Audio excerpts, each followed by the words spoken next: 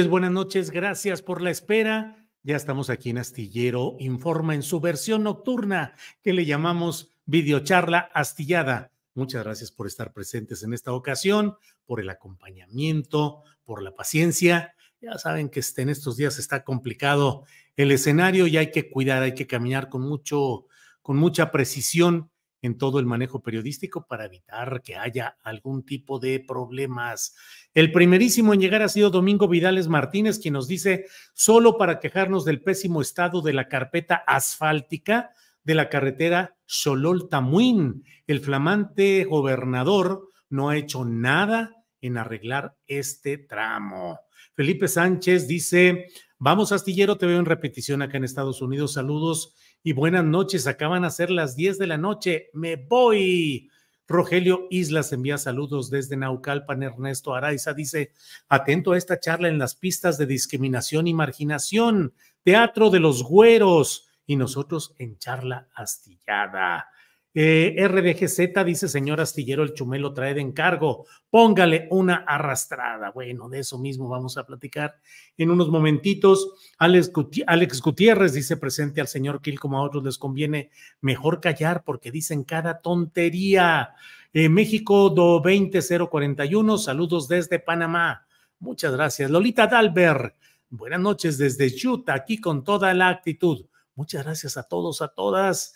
Eh, y vamos a seguir adelante con nuestra transmisión de este día.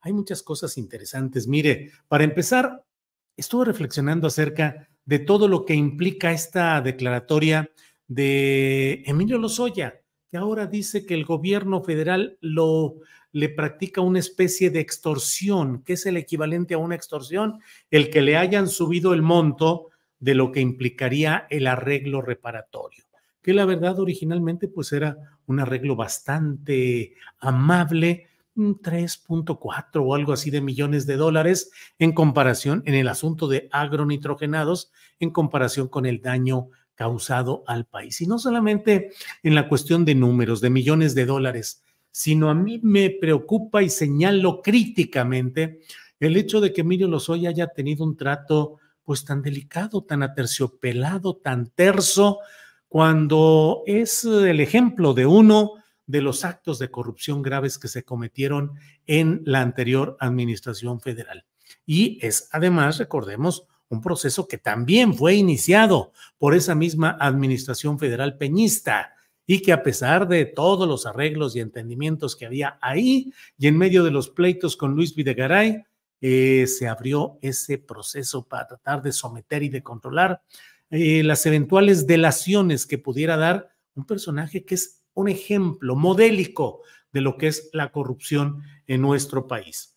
Y bueno, ¿qué ha sucedido en todo este terreno? Sucede que es un personaje con el que se han tenido negociaciones, arreglos, eh, fue extraditado, llegó a México, no pisó siquiera el piso de una cárcel, y desde entonces ha estado sometido a una serie de tratos preferenciales, claro, al arreglo de la ley que se acomoda, pero como lo escribo en la columna astillero que puede usted leer este miércoles en la jornada, el 99.99% de los mexicanos que han pasado por procesos judiciales y por todo este tipo de incidentes saben que ese no es el trato habitual que se da en esos terrenos carcelarios y judiciales. El señor estuvo disfrutando de arraigo domiciliario la Ciudad de México como prisión con un dispositivo electrónico para que no abandonara la capital del país y con le quitaron el eh, pasaporte, eh, pero pues un día lo cacharon ahí eh, comiendo tranquilamente en un restaurante de lujo de comida China, el Hunan, y a partir de ahí eh, tuvieron que, fue tal el escándalo eh, generado por la periodista Lourdes Mendoza, eh, que tuvo que, tuvo que ir a la cárcel, ahora sí, por esos excesos en el espacio de libertad o del libertinaje que le habían permitido. Después de eso ha habido una serie de señalamientos en los cuales millones de dólares suben y bajan, se ofrecen, una conducta muy sospechosa de la Fiscalía General de la República a cargo del cada vez más silencioso eh, Tortuguerz, que sin embargo, eh, una serie de enredos en los cuales los jueces han exhibido que no van preparados, que no saben ni qué hacer, como si hubiera la intención de no apretar a fondo y dejar resquicios por los cuales pueda haber liberaciones o arreglos favorables a este personaje. Y ahora la Fiscalía General de la República, pero caminando mm, por su lado, lo dijo hoy mismo el propio juez, dijo que le preocupaba que estuvieran por cuerda separada tanto la Fiscalía como Petróleos Mexicanos y otras instancias del gobierno federal que no presentan una postura eh, conjunta y firme. Y el propio juez dijo que él, primero que nada, tenía que analizar cuál sería el nivel de fundamentación de este aumento de la exigencia de 30 millones de dólares que ahora le están pidiendo solo por el caso de agronitrogenados a Emilio Lozoya. Pero ¿a dónde va todo eso? No vaya a ser que estemos en presencia de una de las clásicas maniobras en las que se aparenta, no hombre, le estamos apretando y queremos exigirle y le vamos a pedir mucho dinero pero se presentan las cosas de tal manera que el juez tiene que decir, no, pues no hay fundamento, o sea, no están explicando por qué cambiaron y por qué ahora piden mucho más de lo que habían pedido originalmente. Y entonces, jueces rateros y jueces tranzas ya dejaron libre a los Soya pagando muy poquito dinero. Ojalá y me equivoque yo, pero no vaya a ser que estemos en uno de esos escenarios de aparente exigencia justiciera y en el fondo simplemente dejar correr las cosas y que otros carguen con el griterío de lo inmediato, de que digan, lo dejaron libre con muy poco dinero. Sí, pues es que los jueces, nosotros habíamos pedido mucho, pero no nos dejaron. Ese es un tema. El otro es el de Santiago Krill, que dice que siempre no lo discriminan, que siempre no hubo la tal discriminación inversa, que pues obviamente era un disparate que él dijo y la verdad, debo decirles también que en este ambiente tan crispado, de tanta eh, irritación inmediata, de tanta agresividad, pues resulta hasta eh, interesante que un personaje que está en plena campaña y que no debería permitirse hoy reconocer ningún tipo de error y que debería manejar las cosas eh, como gato boca arriba para tratar de demostrar que sí es exacto, pero lo tergiversaron, pero los medios de comunicación, en realidad lo que yo quería decir es, en fin, buscar una salida. Y la verdad es que Santiago Krill ha dicho claramente eh, que cometió un dislate, que fue una equivocación, que fue un lapsus y que bueno, hay que asumirlo tal como es, que fue un lapsus y una equivocación, pero sostiene que sí hay un trato diferenciado del presidente de la República hacia, quienes no forman parte de su proyecto político y que en eso él seguirá denunciando e insistiendo. Pero sí era un disparate completo el pretender o decir que eh, habría una, mire, bueno, ay, es que luego se me escapan y si no, Luisa Cantú estaba embarazada, nació su hija y aún no se reincorpora todavía, rompe viento. Dice Armando Vázquez, Luisa Cantú, qué bueno, qué, qué, qué maravilla que haya nacido su hija, como, me, como dicen aquí, me entero por este, este tuit, eh, y que no se reincorpore, que aguante un ratito con mucho gusto, no hay, no hay por qué ir corriendo y bueno, qué bueno que esté ahí. Raquel TC dice, ay, pobrecito de los Oya, qué injusticia, pues sí. Eh, que no joda los Oya, 20 millones de pesos es lo que cuesta cualquiera de sus propiedades. Eso es lo de los chicles. Eh, Julio, lo presiento. ¿Te gustan las novelas de Fernando del Paso? Dice Santiago Ordóñez Alcaraz. Pues sí, claro que me gustan las novelas del maestro fallecido Fernando del Paso. Em, buenas noches, señor Julio. Tiene razón en lo de Emilio Lozoya y no se rebaje con chusmeo, con chumel. Ángeles Ramos, déjeme decirle, Ángeles Ramos, que estoy bajo una metralla mediática intensa, muy fuerte, como suele suceder. La verdad es que ya estoy acostumbrado a que se den ese tipo de acribillamientos presuntos que siempre se dan cuando toco las fibras esenciales del proyecto político en turno en este momento de quienes quieren crear la figura inmaculada de Xochitl Galvez. He estado insistiendo y lo seguiré insistiendo en que hay que develar, desnudar ese proyecto de farsa que se pretende construir tramposamente creyendo que pueden equiparar la figura habilitada, hechiza de Xochitl Gálvez, con una presunta postura de defensa de las causas de los pueblos originarios, del indigenismo, de la lucha popular, bueno, hasta del trotskismo. Esa es una simulación, una farsa que hay que develar y que hay que señalar. Em, yo creo que personajes como eh, Santiago Krill, pues tienen el derecho de, ser candidatos de su formación eh, clerical, conservadora, eh, de derecha, absolutamente, sin simular que fueron comunistas o que defendieron al pueblo y no sé cuántas cosas. Lili Telles fue otra, es otra gran simuladora y también frente a lo de Lili Telles estuve señalando una y otra vez toda la vestimenta falsa que tiene y toda la argumentación tramposa y estridente que ha tenido en ese tema. Pero eh, la verdad es que, mm, eh, pues me parece a mí que, no me parece, sino he ido sumando argumentos, datos, señalamientos para desmontar esa farsa de eh, Xochitl Galvez. El punto no es si proviene realmente de una, si su ascendencia es indígena y que bueno, en un, en una, este lunes en Astillero Informa, digo, bueno, es el colmo cuando presentamos ahí los datos de un registro eh, bautismal en el cual se menciona que los abuelos de Xochitl fueron registrados o se registraron como indios puros, como, como una, así fueron registrados.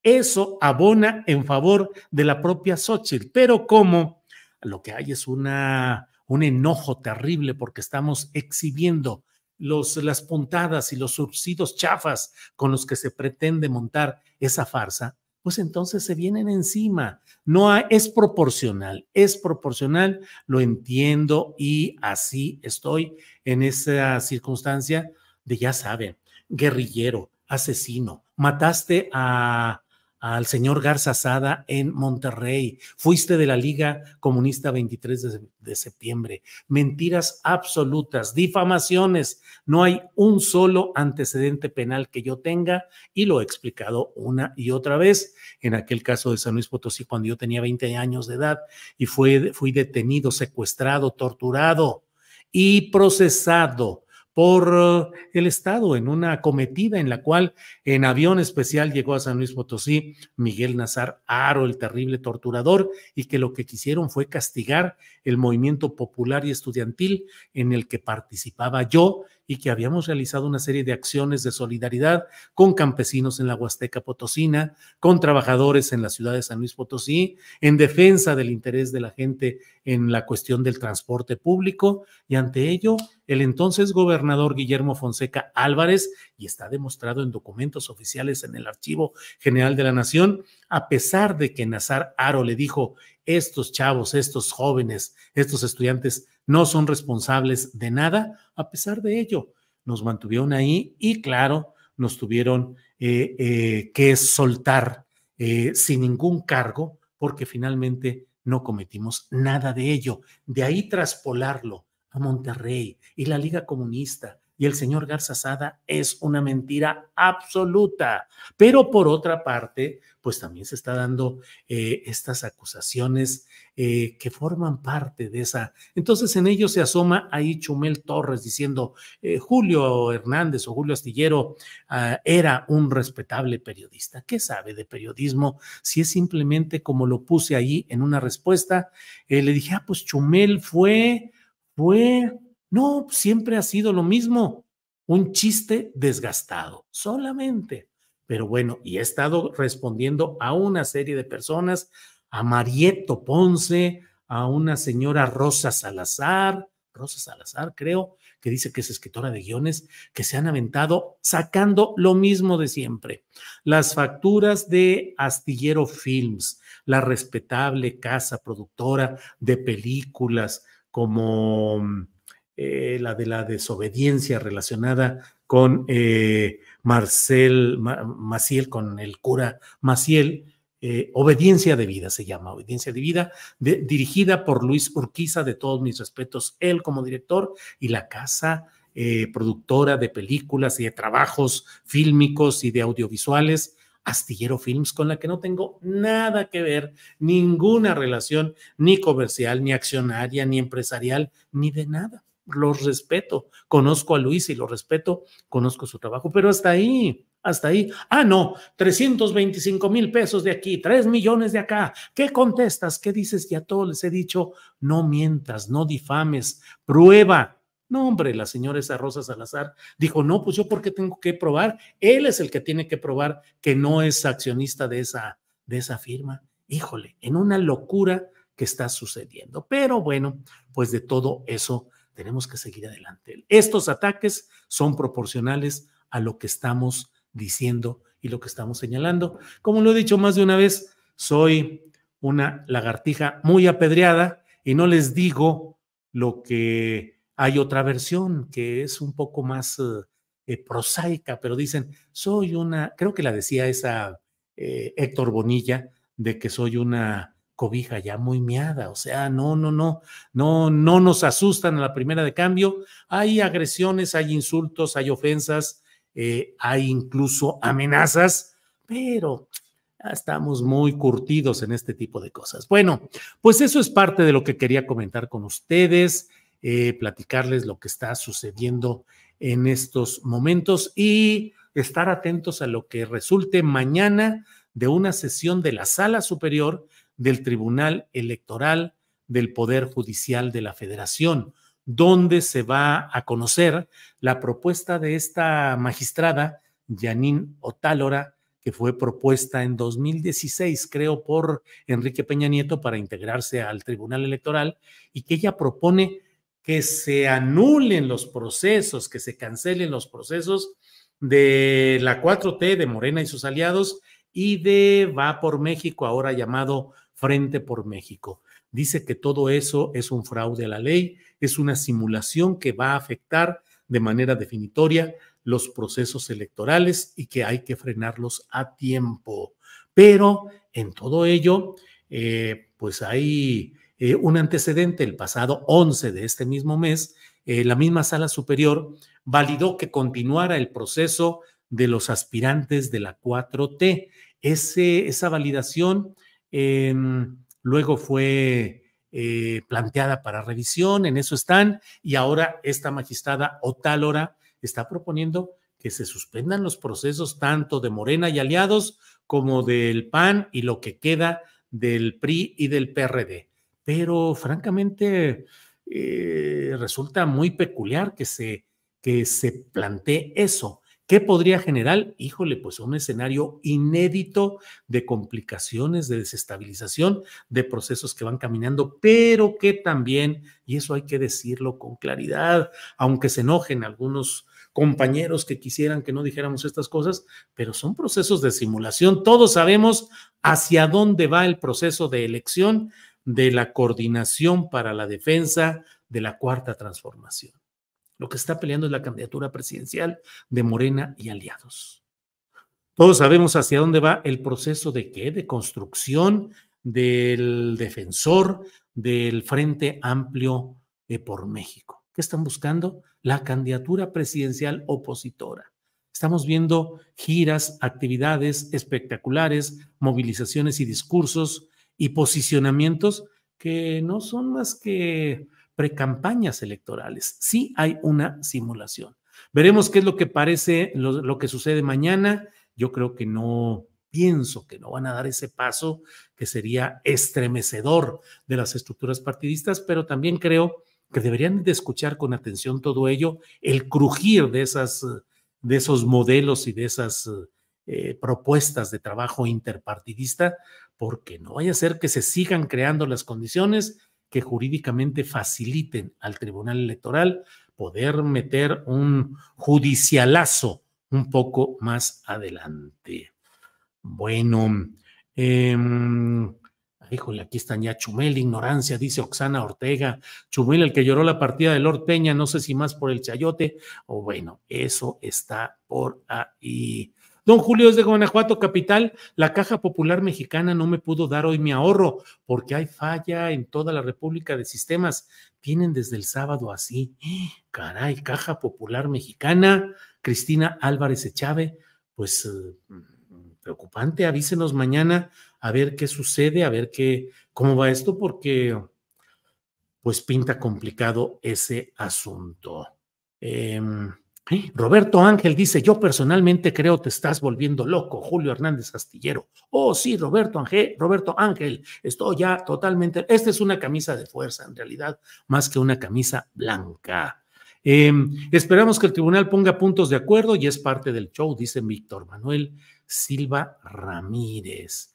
Em, ah, ah, ah, eh, dice Luis Salas Álvarez, don Julio, y también les cayeron reclamos en el chat a Álvaro Delgado y Alejandro Páez Varela por sus críticas a Gertz Manero. ¿Cómo se lidia con esas irritaciones mediáticas por parte de la gente? Pues Luis Salas Álvarez llevándosela diciendo, pues mira, y enfrentando y confrontando lo que sea necesario y teniendo mucho cuidado de que no haya algún loquito que quiera pasar de las palabras a los hechos y que quiera hacer alguna cosa. Yo camino muy tranquilo, a mí me pueden ver cuando ando en la Ciudad de México, tranquilo, camino por donde quiera, en Guadalajara, en Zapopan también, sin mayor problema, pero pues eso no quiere decir que no haya una serie de animosidades, de violencia verbal que no sabemos hasta dónde va a llegar.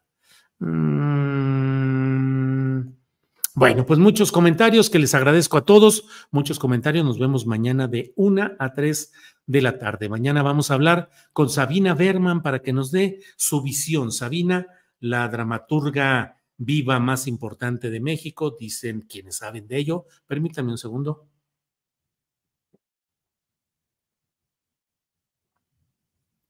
Y por otra parte, eh, y tendremos pues a Sabina Berman con su análisis de cómo ve la situación política, cómo ve todo lo que está sucediendo. Lo vamos a tener mañana. Vamos a hablar también de la denuncia penal que se ha presentado ante la Fiscalía General de la República eh, contra Xochitl Galvez y vamos a tener algunos otros eh, elementos. ¿Ya vieron eso de, del trending topic de, de Rosa Pastel?